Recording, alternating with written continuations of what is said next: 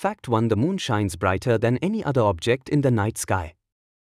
However, it doesn't produce any light but reflects the sun's rays. Fact 2 Our solar system has over 200 moons, but ours is the fifth largest. The 3 Moon is about one quarter the Earth's size. Fact 4 The moon completes its trip around the Earth in 27.3 days.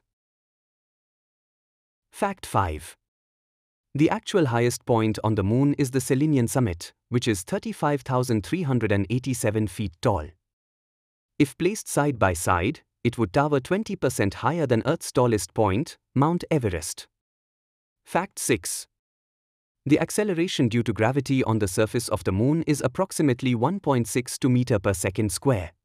Fact 7 If you leave your footprint on the moon's surface, it could sit there for centuries.